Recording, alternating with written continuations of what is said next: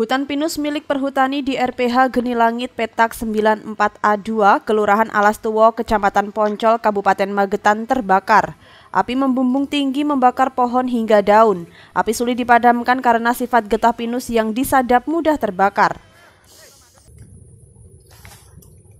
TNI, polisi, perhutani dibantu warga sekitar berusaha untuk memadamkan api dengan alat seadanya.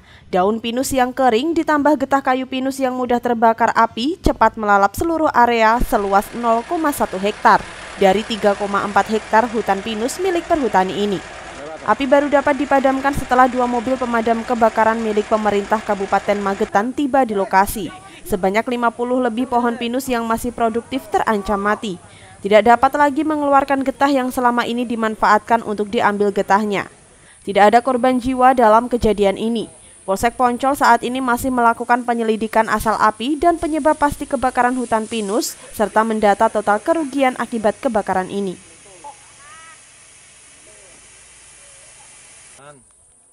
Kebakaran hutan pinus ini terjadi di Kelurahan Alastuwo seluas 1,0,1 hektar lahan peta bertani.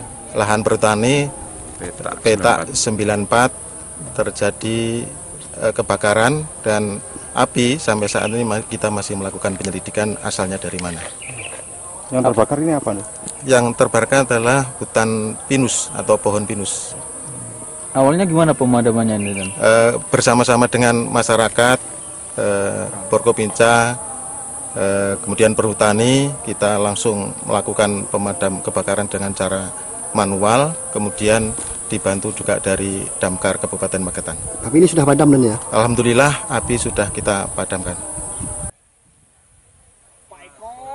Dari Magetan, Rianto, GRTV.